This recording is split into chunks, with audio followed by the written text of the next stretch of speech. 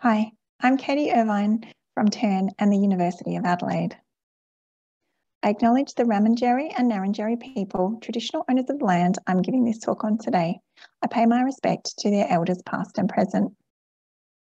Monitoring biodiversity in the long term is critical for establishing ecological baselines and understanding changing ecosystems into the future.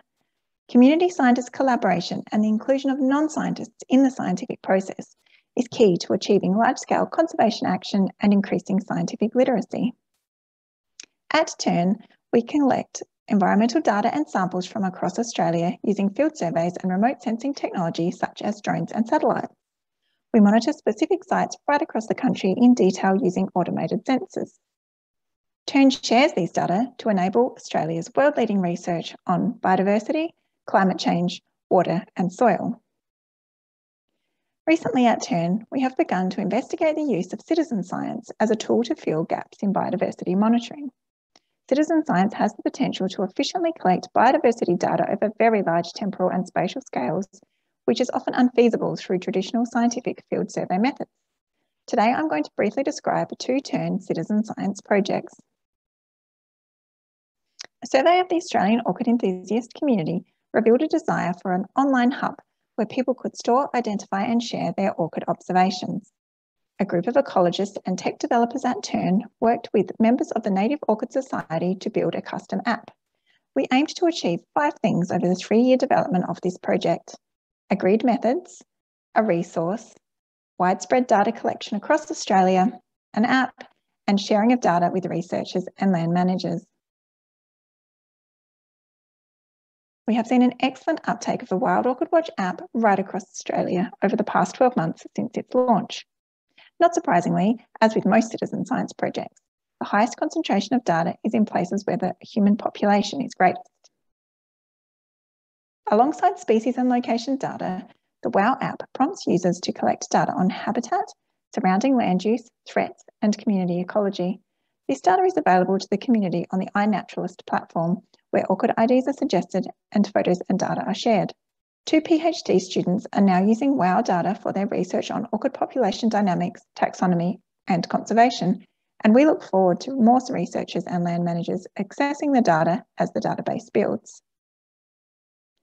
The second citizen science project we are working on is a partnership with a local community group in peri-urban Brisbane.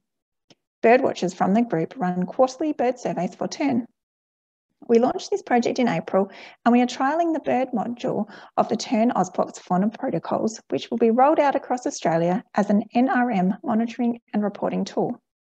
These protocols are based on the standardised BirdLife Australia 2 hectares in 20 minute survey method.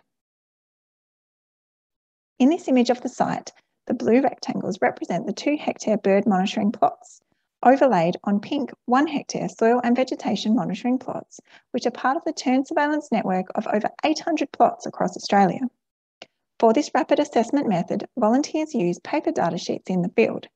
Data is then transcribed to an online data sheet for storage and sharing by TERN.